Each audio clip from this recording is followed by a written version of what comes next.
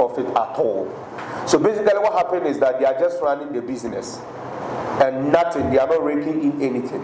And just a little bit of 9% of them make like 10k, that's uh, uh, uh, in dollars. So this tells you that in as much as every single day, the Ghanaian economy is having startups, businesses coming up, but a lot of them do not even make any profit at all or revenue. So this is calling for you and I to really put our heads together and come up with a very good startup bill that will support these startups, given, given that if they don't make profit, how do they survive? That means they need a support mechanism that will cushion them till they start making profit. So I, I just brought this so that we can all have uh, a clear understanding of what is happening. Presenting a scenario of Ghana's startup ecosystem, Mr. Ghali advocated proactive measures to improve on the situation. According to him, it is high time Ghana set up tailored interventions to meet the structural needs of startups and startup ecosystem.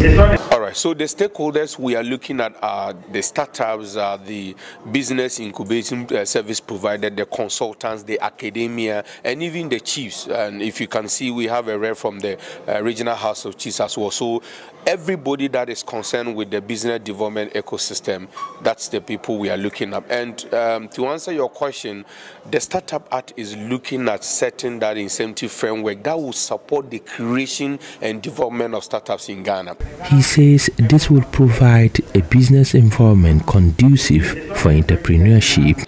How can Ghanaian businesses that are starting get that legal support to be able to scale up and create jobs and wealth for Ghanaians? That's basically the idea of the Startup Act.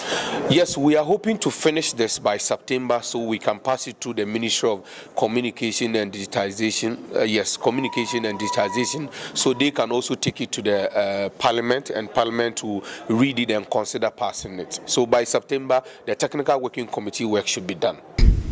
Stakeholders at the workshop discussed the Ghana Startup Bill, which will provide legal support for the introduction and promotion of startups for jobs and wealth when passed. Business Development Advisor at SMV Green Project, Frederick Aqua, is optimistic the bill, when passed into law, would assist startup entities to grow to create employment for the people. It is unique in many sense and of course it's going to uh, guide startups in general but we also want to consider secular businesses. We also want to consider green businesses. Green businesses in the sense that, look, we, we, we, are, we have one Ghana, we have one world, we have one earth. If the environment is polluted and we can no longer be staying in Ghana, we can no longer be staying on earth, then where do we go? Where do we do our business, how do we do our business.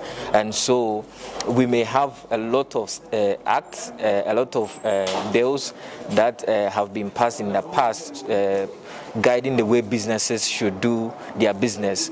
But this particular act is also going to include the secular component where we want to help and guide businesses to um, you know, do business sustainably uh, to make sure that they are friendly to the environment.